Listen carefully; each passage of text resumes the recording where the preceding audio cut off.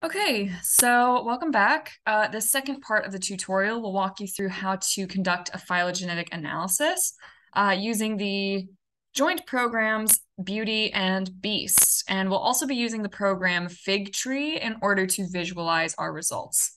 Uh, so what we have here is um, the alignment that I conducted in Mega with a few of uh, my original sequences with uh, alongside a bunch of published sequences that I pulled from NCBI. And so I'm interested in running a phylogeny of these sequences to see where my original sequences uh, fall on this tree. And so what you'll need to do first is you'll need to export this data in a way, uh, in a format that is understandable to downstream uh, programs. So what we're going to do is we're going to go up to data at the top, we're going to export the alignment as a Nexus file. And so you want to save that in uh, the, the folder that is appropriate for you. Uh, name it something um, informative. So I'm going to say tree three um, alignment. And I'm going to hit save. Okay. So once you hit save, you can navigate to the next program, which you can see here. So this is the graphical user interface for the program BEAUti. You'll open BEAUti first. Um, and what you will want to do is here you will go to File, Import Data, and you will navigate your folders and select the Nexus file that you just created from Mega.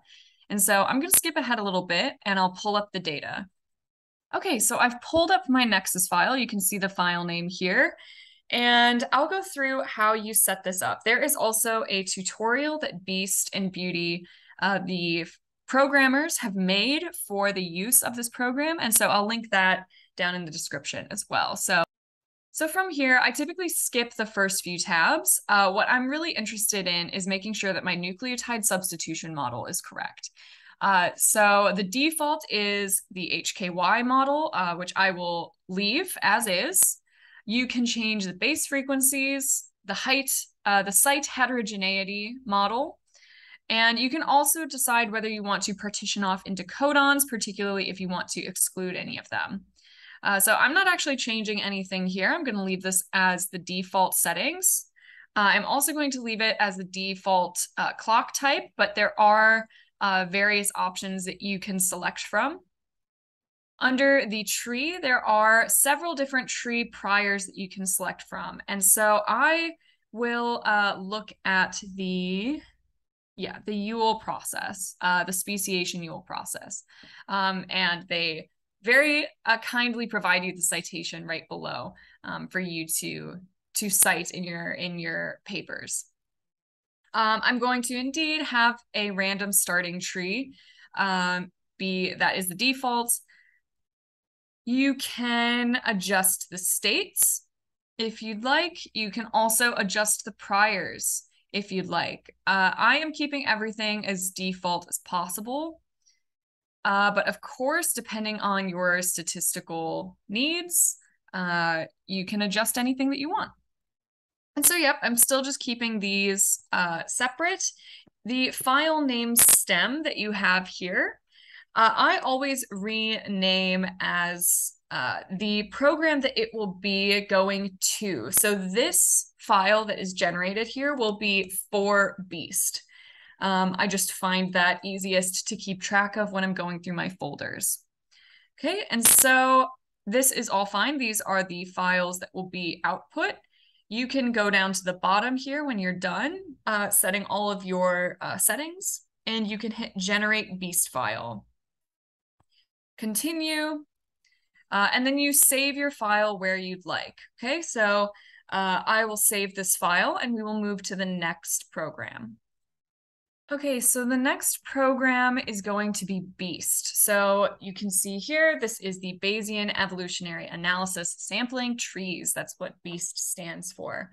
Uh, for the BEAST XML file, that is the file that you just created from BEAUti. And so you'll choose File and you'll select the file uh, that you just created. So I will do that here.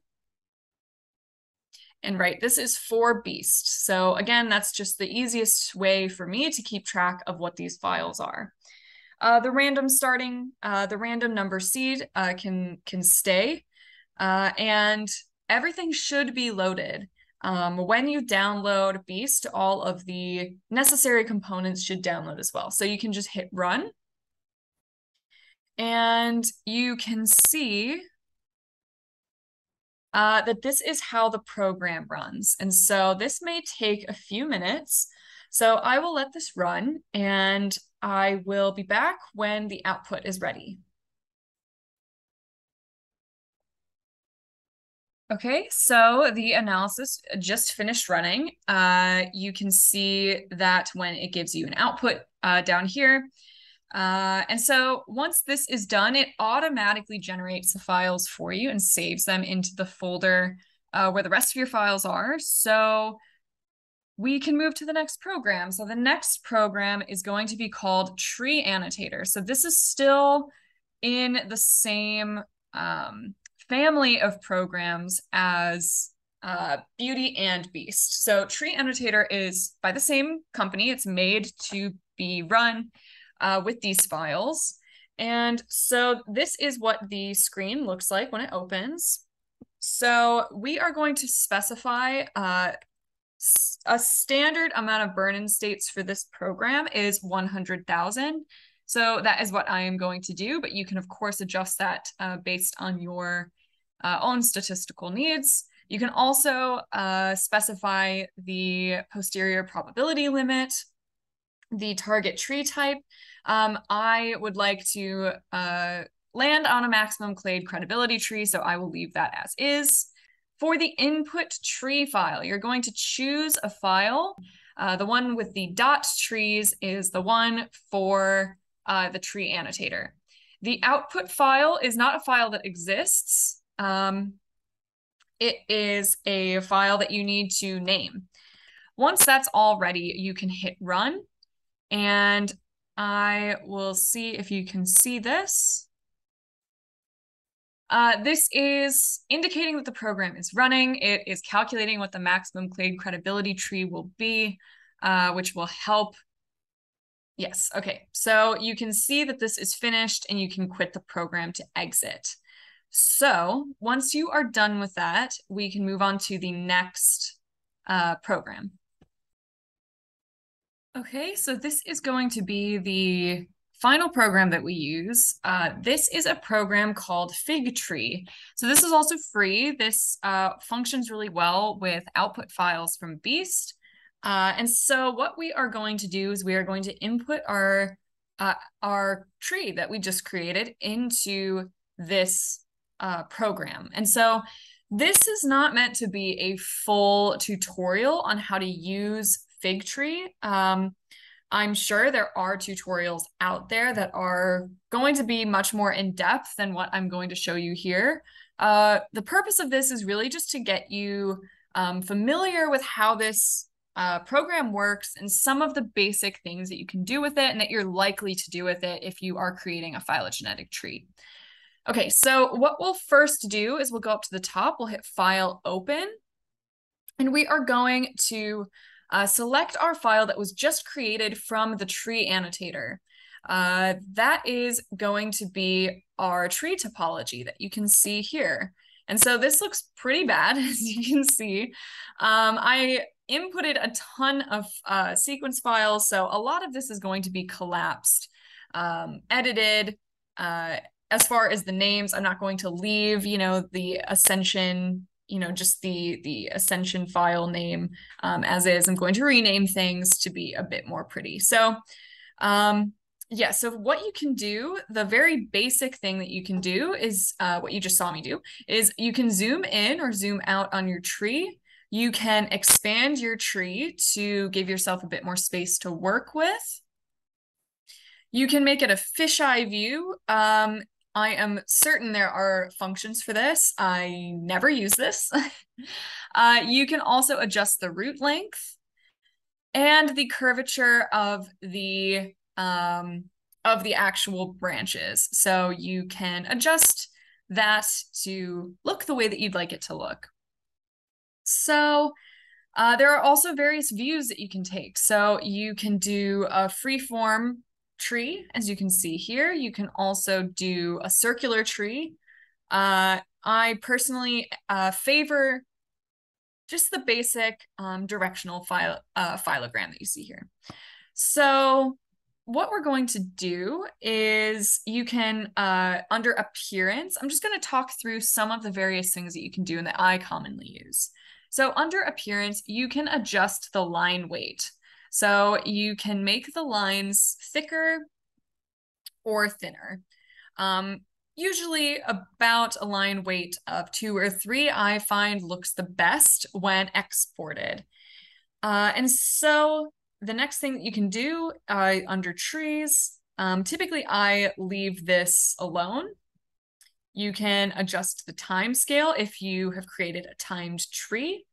Uh, you can adjust the scaling factor. I'm also going to leave that alone. The tip labels, you can choose what you want to display. So you can display uh, the rate, you can display the, um, the length of the branch. I always uh, keep the names and you can adjust those later and I'll show you how to do that. Uh, the one thing I always do adjust in this field though is the font size. So I always make the font size, uh, at least a font size of 10, just so I can see it. And I'll expand the tree so we can read a little bit clearer. Okay. Um, so the next thing that I do, you can also adjust the tip shapes if you'd, or so, sorry, didn't click on it. The tip shapes, so you can see how these uh, little circles came here. Uh, you can make them rectangles, you can make them diamonds. Uh, I typically don't have any tip shapes, so you can see that selecting this box adds them or takes them away. You can also do that with the node label. So I typically, uh, for the node labels, I uh, select that they appear, I make them readable, and I export uh, just a basic tree uh, once everything is cleaned, of course, I export a tree with the node labels on it, and I export another tree with the node labels not on it. Because usually what I do is I go in in Illustrator or another uh, image manipulation program and I add the nodes back in, uh, just because you can't necessarily adjust where these node uh, labels occur in Figtree. And so I typically, you know, they can overlay on some of the tip labels. So I always just kind of go in and do that manually. It just uh, is easier to control for for me. Um, you can also adjust the significant uh, the significant digits of the node labels. Uh, I usually just keep it at a significant figure of two. Okay. Uh, the node shapes. You can also adjust. So again, you can see uh, no, no node shapes, yes node shapes. You can make them circles, rectangles, or diamonds. Again, you can also um, adjust the sizes as well. But I don't usually have those. I usually don't do anything with the node bars. Uh, you can also select branch labels. So if you select that, uh, you can choose from a variety of different data to have displayed here. So I typically uh, have the branch lengths displayed. Again, you can adjust the font size. And what I use this for is this is a way to calculate the actual distance between taxa on the tree. Uh, this is less useful in a um, in a Bayesian tree because the Bayesian tree does not correlate with the number of substitutions in between taxa. Uh, but if you were to input a maximum likelihood tree, then the looking at the branch lengths would be informative in that respect. And so I'm going to actually take those away for now, just because we don't need them. The scale bar is going to be at the bottom here. Uh, and you can adjust how that looks. So you can adjust the font size, you can also adjust the uh, line width. If you deselect automatic scale, you can specify what you want the scale to be, what you would like displayed. Uh, so I'm actually just going to take that away for now just to clean up the view. You can also input a scale axis, particularly if you have created a timed tree. This is really useful. So you can see exactly where each node falls along the scale axis. You can also add a legend, but I never do. Uh, so I'm just going to leave that deselected as well. So one of the functions in Figtree that is really useful is being able to rename your taxa. So you can click anywhere on the tree. You can select, this selects a node. You can see that this is the mode that it's in.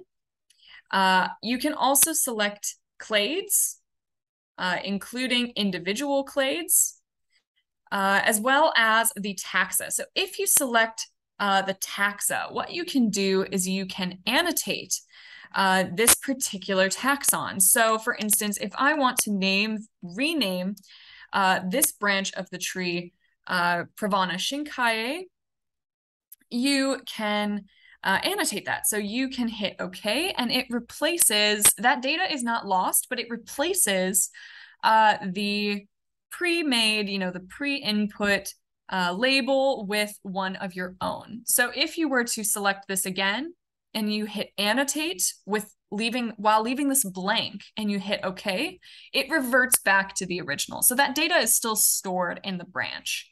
Uh, you can also do this with collapsed clades. So uh, you can select the clade.